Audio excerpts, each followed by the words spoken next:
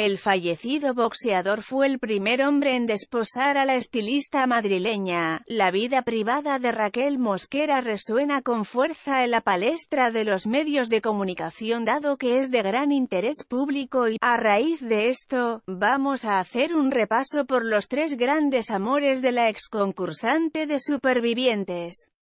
Como la mayoría sabe, el primer gran amor de la peluquera nacida en Madrid no ha sido otro que el mismísimo Pedro Carrasco, con quien se casó por primera vez a sus 27 años, algo que no fue impedimento para ellos ya que, si bien el matrimonio no tuvo hijos en común, la estilista llevaba una vida llena de amor al lado del fallecido boxeador y padre de Rocío Carrasco.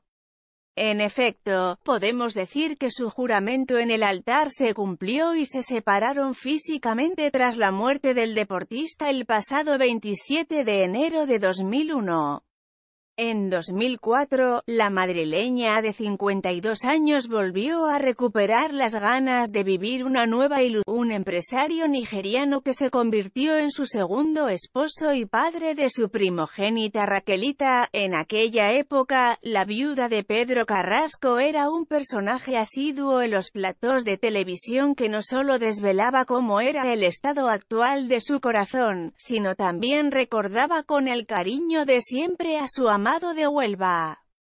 Con el tiempo, la mediática blonda entendió que los constantes viajes de su entonces marido a su país natal tenían un motivo de peso, había formado una familia paralela en Nigeria y le solicitó el divorcio definitivo.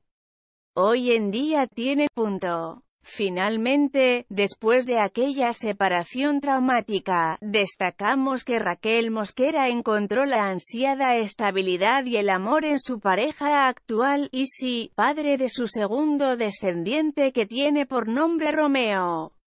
La historia de los tortolitos comenzó en 2014 tras la salida de ella de Mujeres y Hombres y viceversa, donde este nigeriano se cruzó en su camino y le ofreció la felicidad que tanto buscaba en el plano sentimental.